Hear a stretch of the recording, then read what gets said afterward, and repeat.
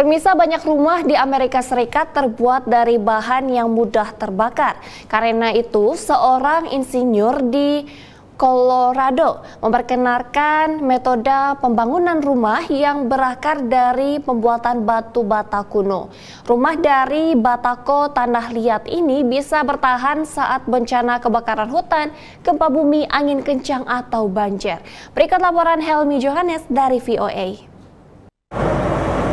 Rumah-rumah baru dibangun di seluruh kota Superior di Colorado, tempat angin kencang memicu kebakaran hutan yang menghanguskan lebih dari seribu rumah dua tahun lalu.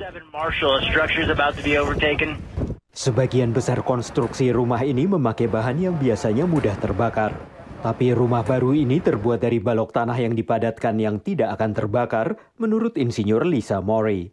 The client called me and said that he was um, triggered still by strong, the sound of strong winds, and wanted a home that was obviously fire resistant or fireproof even.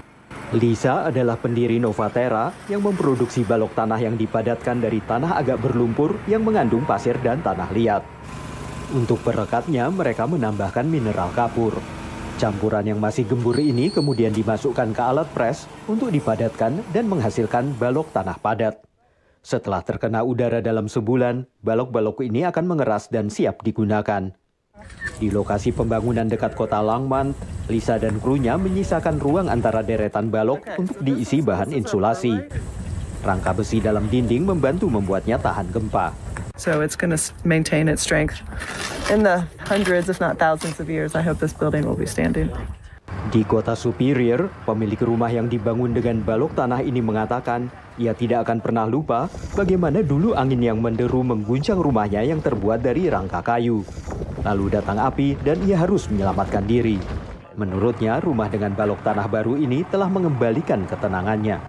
So this methodology of construction uh, it basically, you know, the house will not shake. You will not feel the wind from inside the house, when even if it's very windy outside.